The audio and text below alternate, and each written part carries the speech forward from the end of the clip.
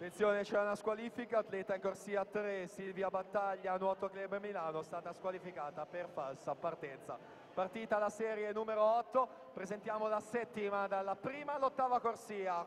Beatrice Cuoghi, Anna Caleffi, Emma Tigano, Ilaria Pareschi, Beatrice De Falco, Isabella Corbetta, Federica Previtali, Giulia Gianfrancesco.